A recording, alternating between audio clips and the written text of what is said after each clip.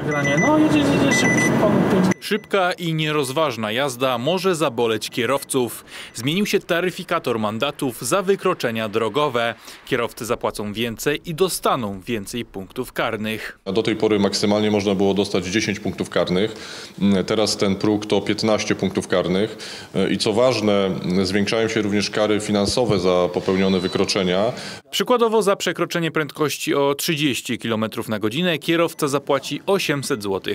Ale to nie koniec. Pierwszy mandat to pewnego rodzaju żółta kartka dla kierowcy. Recydywa będzie kosztować dwa razy więcej. No w tej chwili dość drastycznie poszło, szczególnie y, w sprawie recydywy, czyli igrania z ludzkim życiem po raz kolejny. Myślę, że to jest dobry, dobry kierunek z tą recydywą. Kierowcy nie ukrywają, że od przekraczania przepisów odstrasza ich wizja płacenia gigantycznych mandatów.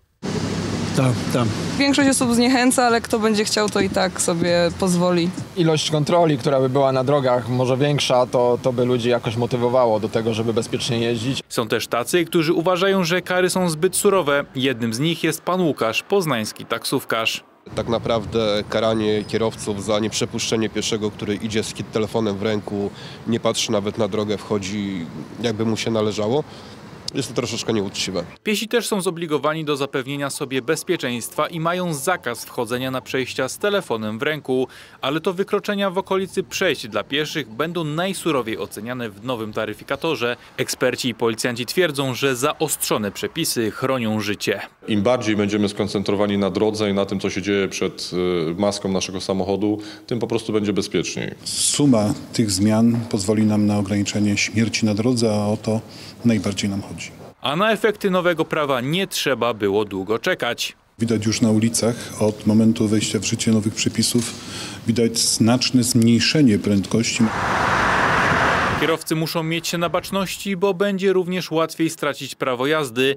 Wykroczenia będą bardziej punktowane, a kasowanie ich będzie o wiele trudniejsze. Punkty karne będą mm, się kasowały dopiero po dwóch latach, a nie po roku, jak było do tej pory. A dodatkowo nie będzie można ich zniwelować dodatkowymi kursami. Zaostrzono także mandat za korzystanie z telefonu podczas jazdy. Złapanie kierowcy dwukrotnie na tym wykroczeniu skutkuje odebraniem prawa jazdy. Kierowca ma obserwować drogę, ma skupić całą swoją uwagę na tym, co dzieje się przed autem, za autem, obok auta. Natomiast rozmowa telefoniczna rozprasza. Policjanci liczą, że kierowcy zdejmą nogę z gazu, a oni będą mieć mniej pracy na drogach, bo wiąże się ze zwiększonym bezpieczeństwem. A to jest konieczne, bo w same wakacje na polskich drogach zginęło 375 osób. Błażej Filipiak, Puls Dnia.